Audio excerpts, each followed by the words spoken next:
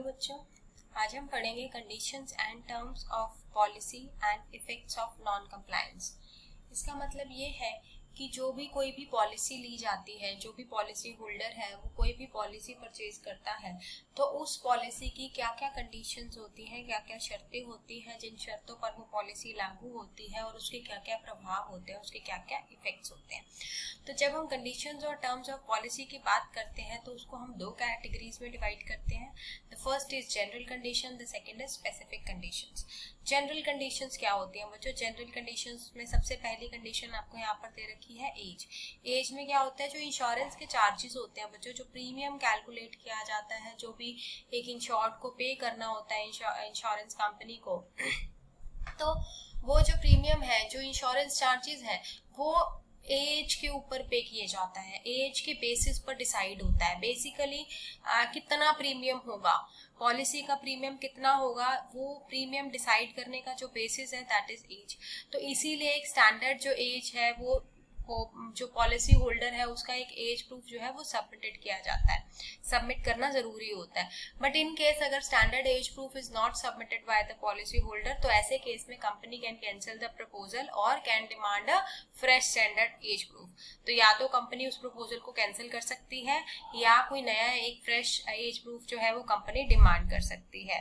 ठीक है, अगर जो करेक्ट एज है का मतलब बाद में जिस भी पर्सन ने फ्रेश एक स्टैंडर्ड अपना एज प्रूफ दिया, और वो एज प्रूफ से ये पता चला कि जो पहले वाली एज जो डिक्लेयर की थी, या वो ज़्यादा है, या वो कम थी तो एक ही अगर जेनुअन है ओके है, जो पहले था वो अब है सेम है तो इट्स फाइन कोई प्रॉब्लम नहीं है। लेकिन अगर जो पुराने जो उसने प्रपोजल फॉर्म में एज कुछ और लिखी थी और एज प्रूफ के हिसाब से उसकी एज कुछ और बनती है। अब कुछ और कैसे डिफरेंस कैसे होगा? या तो वो एज हायर होगी, या तो वो लोअर होगी। तो ऐसे केस में जो इंश्योरेंस चार्जेस हैं जो प्रीमियम का अमाउंट है वो ऑल्टर्ड हो जाएगा depending upon the correct age ठीक है? हो सकता है पहले इंश्योरेंस प्रीमियम कुछ और बताया गया हो आपको लेकिन जैसे ही पॉलिसी होल्डर की एज का आ, कुछ क्राइटेरिया सामने आया और जैसे ही उसकी एज पता चली कि ज़्यादा है तो प्रीमियम बढ़ जाएगा। अगर पता चला कि एज कम है तो प्रीमियम कम हो जाएगा। तो एज के हिसाब पे हिसाब से जो है प्रीमियम ऑल्टर कर देती है इंश्योरेंस कंपनी किसकी एज के हिसाब से? पॉलिसी होल्डर की एज के हिसाब से। सो so, देखो यहाँ पर लास्ट में दे रखा है in case age is age is higher than the maximum allowed under the plan the policy shall stand cancelled and the amount of premium shall be refunded तो कई बार कुछ specific policies होती हैं वो एक specific age group के persons के लिए होती हैं तो अगर उस age group से ये पता चलता है कि किसी भी कंडीशन की वजह से कि जो पॉलिसी होल्डर ने एज गलत जो है पॉलिसी फॉर्म में लिखी थी और अब जो एक्चुअल उसकी एज है वो पॉलिसी की आ, के अकॉर्डिंग पॉलिसी की जो कंडीशंस है उसके अकॉर्डिंग अलाउ ही नहीं है तो ऐसे केस में वो पॉलिसी कैंसिल हो जाएगी एंड जो जो भी प्रीमियम उसने पहले पे किया था कम एज के हिसाब से वो सारा का सारा रिफंड हो जाएगा। सेकेंड सुसाइड बच्चों सुसाइड के केस में चाहे वो व्यक्ति सेन हो या इनसेन हो, यानी कि ठीक हो या पागल हो, दिवाली, ठीक है? दोनों केस में, अगर वो मेंटली फिट है या मेंटली अनफिट है, दोनों केसेस में अगर कोई भी पर्सन सुसाइड कमिट करता है तो ऐसे केस में उसकी फैमिली को जो, उसके नॉमिनी को, उसके बेनिफिशियरी को जो डेथ बेनिफिट मिलना था, वो नहीं मिलेगा। So if the life in short if the life assured commits suicide, whether sane or insane, within one year from the date of commencement of risk or date of revival of this policy, whichever is later, the contract of insurance shall be void whether or not any beneficial interest has been created therein and the company will not entertain any claims by virtue of this policy except to the extent of the bid value of the policy holders unit account on the date of death यानी कि अगर life insurance suicide commit करता है, चाहे वो ठीक condition में है या वो मेंटली अनफिट है, दोनों कंडीशन में। और कितने टाइम में सुसाइड कमिट करता है? Within one year from the date of commencement of risk यानी कि जिस दिन पॉलिसी कराई, उस दिन, ठीक है? या जिस दिन उसकी पॉलिसी एक्चुअली रिवाइवल हुआ, उस दिन तो दोनों में से एक साल के अंदर अंदर जो भी लेट होगा, ठीक है? तो अगर वो पर्सन जो है सुसाइड कमिट करता है कोई भी पर्सन तो ऐसे केस में जो इंश्योरेंस का कॉन्ट्रैक्ट है वो क्या माना जाएगा? वॉइड माना जाएगा।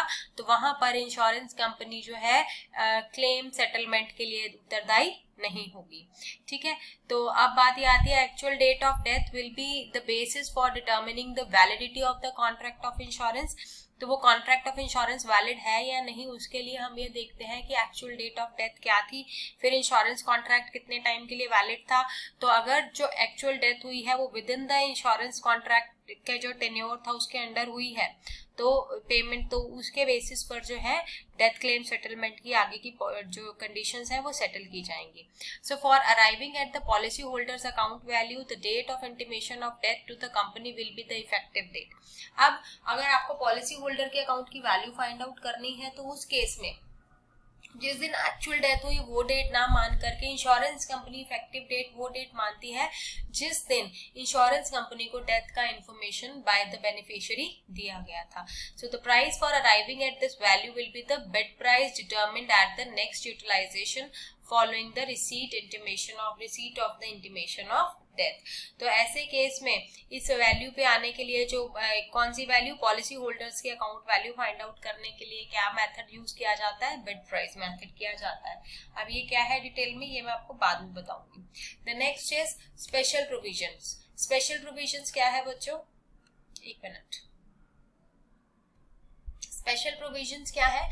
Special provision subjected to which the policy has been entered into whether endorsed in the policy or in any separate instrument shall be deemed to be the part of the policy and shall have effect accordingly means कि कई बार कोई भी special policy के लिए कुछ conditions decide की जाती है जिनके बेसिस पर जो है इंश्योर्ड और इंश्योरर एक उस पॉलिसी के कॉन्ट्रैक्ट में एंटर करते हैं तो ऑब्वियसली जो भी जो भी स्पेशल प्रोविजंस को ध्यान में रख करके पॉलिसी क्रिएट की गई थी तो that would be considered non disclosure ठीक है?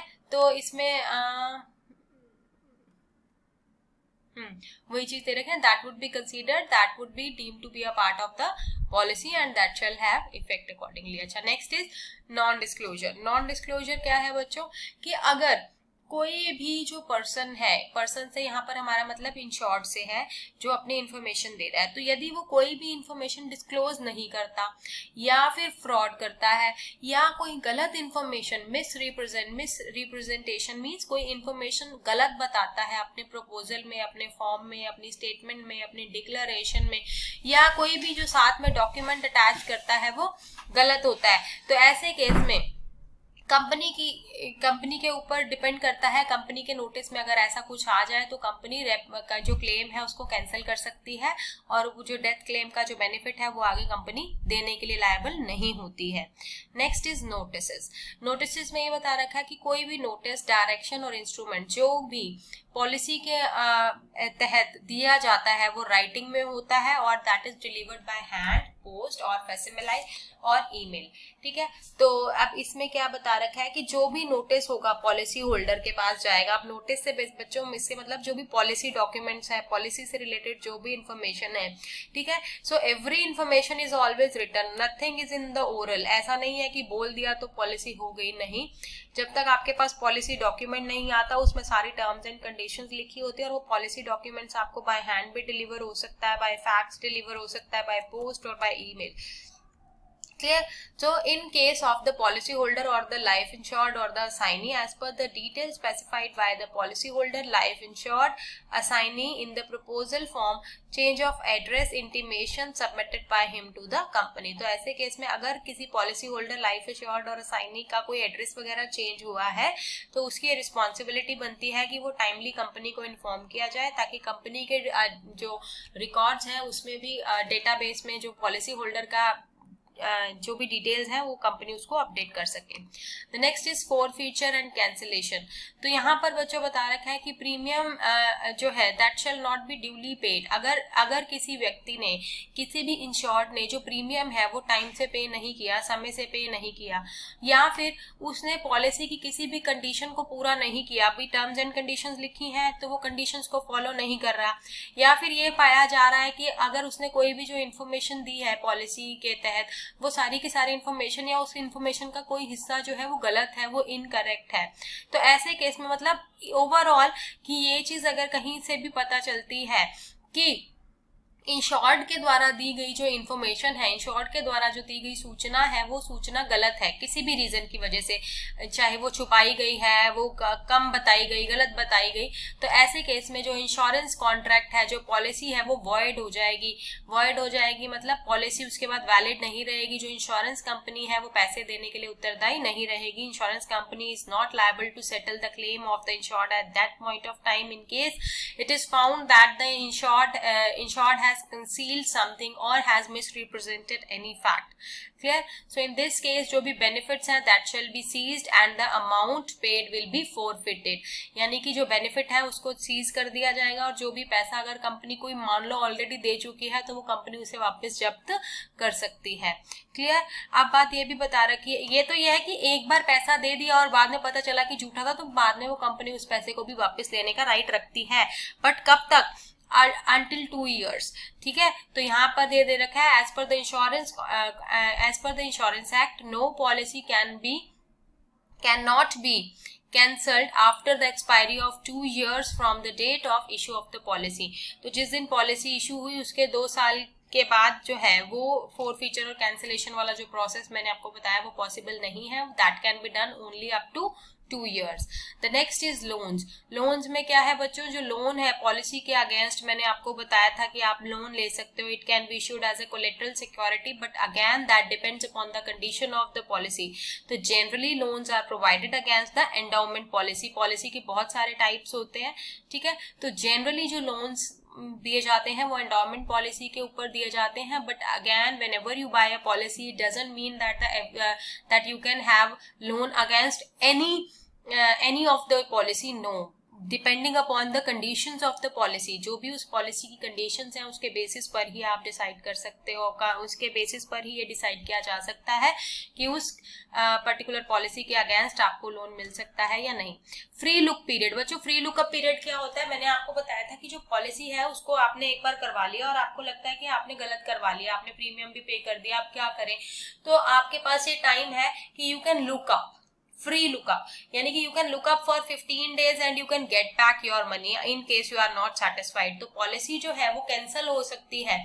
अगर जो इंश्योर्ड है, वो एक रिटर्न रिक्वेस्ट दे रिटर्निंग की, और कितने दिन में वो रिक्वेस्ट देनी होती है? पंद्रह दिन में देनी होती है from the receipt of the policy the company will refund the amount paid by the policy holder तो ऐसे केस में जितना भी पैसा दिया गया है, वो पैसा, जो पॉलिसी होल्डर है, वो क्या कर देता है? रिफंड कर देता है। मॉडिफिकेशन जो भी प्रोविज़न है पॉलिसी के can not be change and where it once the policy is issued एक बार कंपनी की टर्म्स एंड कंडीशन पॉलिसी की टर्म्स एंड कंडीशन चेंज नहीं होंगी, उसमें अपडेशन जो होती हैं वो इंश्योर्ड करा सकता है अपने उसके अकॉर्डिंग कि ठीक है ना जो भी उसकी एज चेंज हो रही है या कुछ उसको अपडेशन देनी है वो वो वाला पॉइंट के साथ यहाँ इसको कंफ्यूज मत करना। असाइनमेंट एंड नॉमिनेशन तो an assignment of the policy shall be made by endorsement upon the policy itself और by signing a separate document policy assign कब की जाएगी? जब when uh, insured has signed the separate document the assigner should specifically state the fact of the assignment and that the statement should be duly attested. The life insured, the life assured can make nomination at any time during the tenure of the policy. तो nomination कभी भी कर सकते हैं किसी भी व्यक्ति का नाम नॉमिनी बना सकते हैं कभी भी चेंज कर किया जा सकता है ठीक है और पॉलिसी असाइन तब होती है जब वो प्रॉपर साइन होकर एक वैलिड माना जाए। तो पॉलिसी की एलिजिबिलिटी कब तक होगी बच्चों? तो any person who has attend maturity majority जो भी पर्सन मेजर है और किसी भी वैलिड कॉन्ट्रैक्ट में एंटर करने के लिए वो, क्या कहते हैं वो है। कंपीटेंट है, ठीक है? तो और उसका कोई भी इंश्योरेबल इंटरेस्ट है person is eligible for the policy medical examination insurance company में जब भी आप कोई भी इंश्योरेंस कराते कराते हो तो उसके लिए आपका मेडिकल एग्जामिनेशन ज़रूर होता है, और वो मेडिकल एग्जामिनेशन कौन करता है? ऑन पैनल डॉक्टर्स करते हैं before accepting the proposal on panel doctors कौन होते हैं? इंश्योरेंस कंपनी के अपने डॉक्टर्स होते हैं. Revival of the lapse policy कई बार आपने अगर कोई प्रीमियम पे नहीं करा और वो पॉलिसी लैप्स हो गई, ठीक है? अब क्या है, आपको उसको रिवाइवल करना है तो अगेन रिवाइवल के भी जो टर्म्स एंड कंडीशन हैं, वो कंपनी के ऊपर है। आप अपनी मर्ज़ी से ऐसा नहीं है कि आपने प्रीमियम हफ़्ते दस दिन बाद पे किया तो कंपनी उसको रिवाइव करेगी।